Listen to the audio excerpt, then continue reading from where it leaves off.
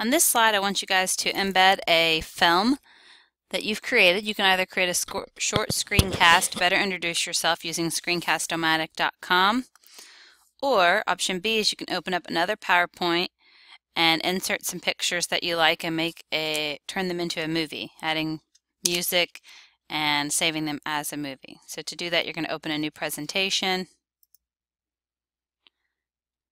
pick a theme, or you can pick a blank theme insert some pictures. Once you get the pictures organized just how you like, you can add transitions so that when it moves from slide to slide, it has a nice effect.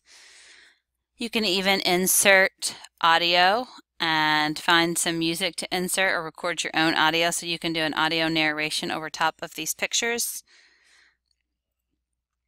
Or you can download a song. So your two options would be to record audio narration or to pull a song from your computer. So one or the other. Then when you're ready to turn it to movie, it's File, Export, Create a Video. And then you want to tell it how many seconds you'd like for it to spend on each slide.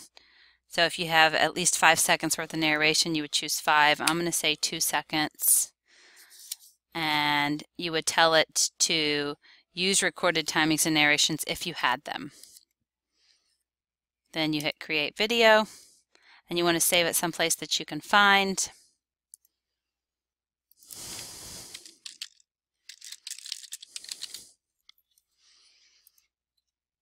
and save. Then you'll go back to your original presentation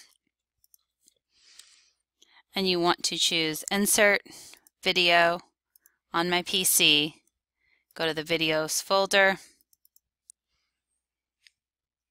and I have my pick slideshow which I can resize to fit in those placeholders. You can make it also fill the screen if you prefer.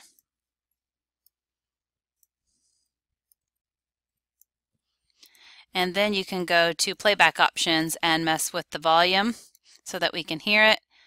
Tell it to start automatically.